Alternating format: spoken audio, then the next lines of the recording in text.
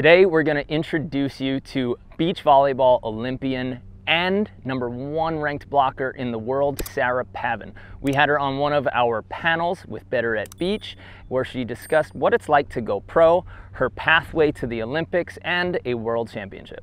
I want you to stay to the end of the video because I got something very special waiting for you at the end, and I will show you where you can go to get the full and unedited version of this interview.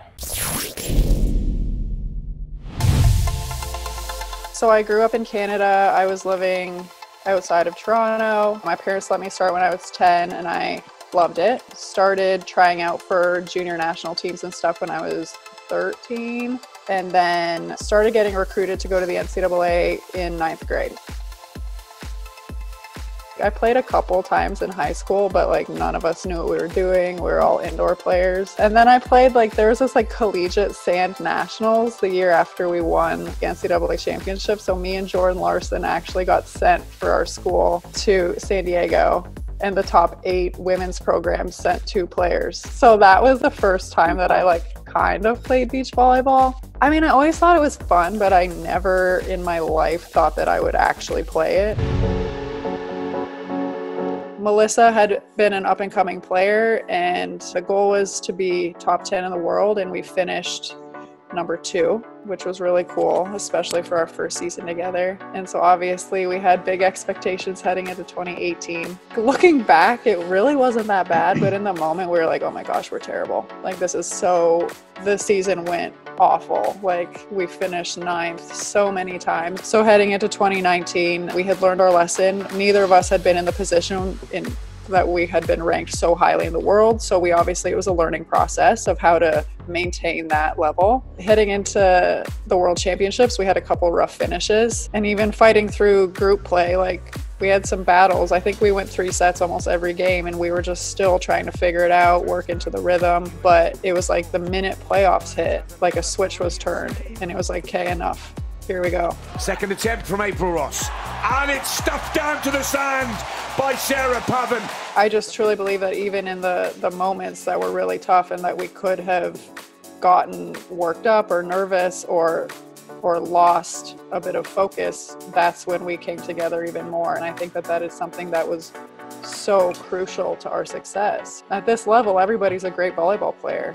But I think the thing that makes Melissa and I really work is that our relationship is so good. And we've really worked on knowing each other as as athletes and as people and what we need and knowing that we're in it together 100% just just elevates our game as a partnership. Pavan is there!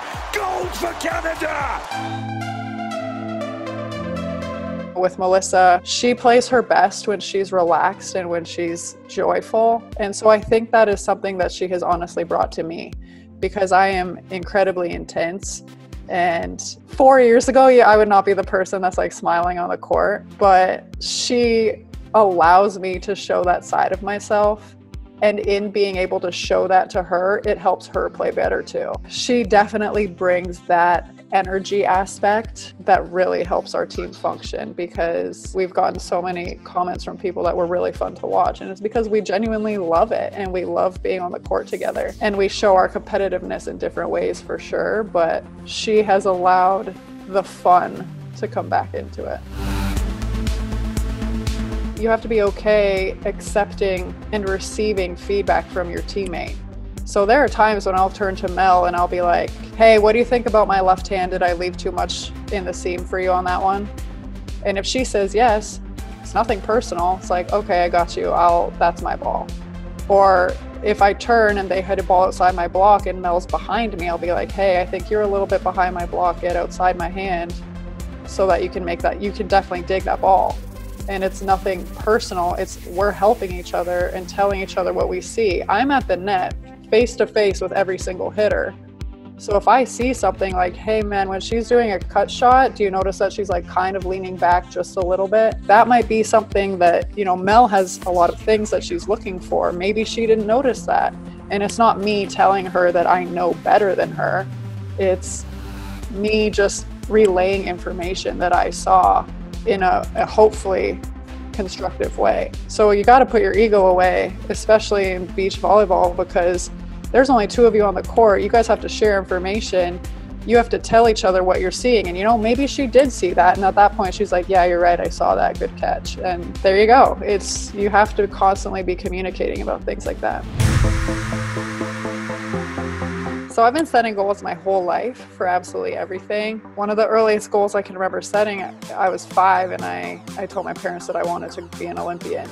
And they were like, cool, that's cute. But yeah, it literally shaped every decision I made from that point on. I think a big thing with, with goal setting is that you want to set short term goals and long term goals. I set a couple goals, which I consider my focal points for every single practice. Whether that be, I don't care what the situation is, I'm going to force myself to handset. That is a short term goal and it's measurable. And then there's long term goals, obviously, which as a five year old be an Olympian. You don't want them to be easy, you don't want them to be impossible. You want to be able to stretch yourself and require growth to be able to get there for the long term ones.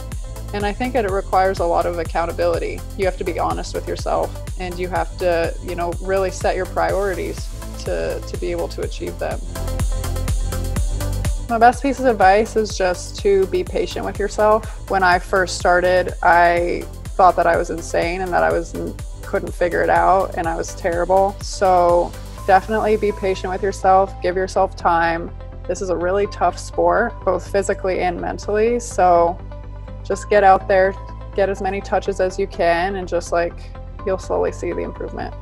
Hey guys, thanks for watching that entire video. Now, Sarah is a very special person. She's an awesome athlete, and as you can tell, she's extremely focused. She developed goals, she developed a plan, and she reached her goals.